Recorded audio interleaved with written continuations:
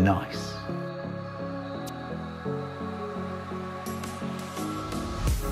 Playing conditions. My name's Derek Rae, and joining me for commentary on this game is the former Arsenal and England fullback Lee Dixon. And every reason to believe we're in for an entertaining match here. It's the United States taking on Chelsea.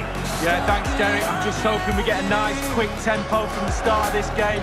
Both teams do like to get forward, both positive in their approach in the game, so we should be in for some entertainment. James. Werner. Reece James. Well, he's lost it.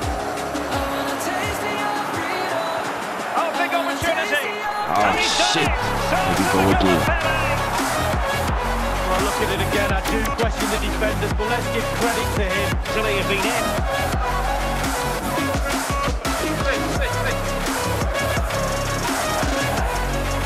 Kovacic seeing his pass intercepted. Timo Werner. Well, it was a very good looking... That's a very impressive piece of defending. That's how to rob them of possession.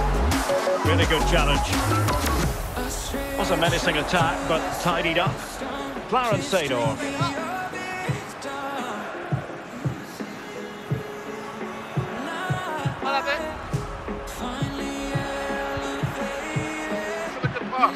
Ronaldo. Inside the final two minutes of this contest. The court official has There is going to be stoppage time, but only the one minute. Lee Dixon. And getting ready for a potentially thrilling contest. Mateo Kovacic. Fernando Torres. And he read it superbly.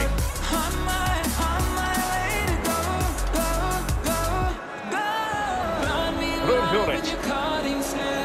Torres. Torres. Mbappe's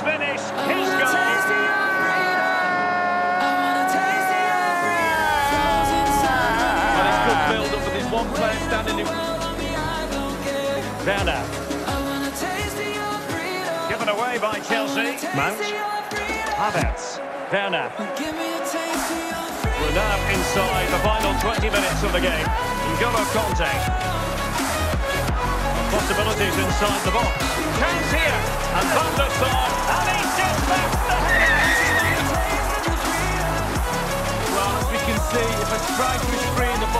Great ones stand still, they know chances will come in that position and he wasn't disappointed. So there we have it. 2-1.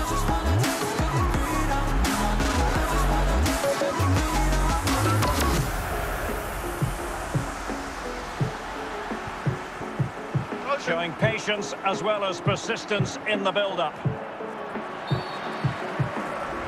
Referee spotted the infringement and it will be a free kick in a position of genuine menace. And the substitution will occur now. Tremendous block.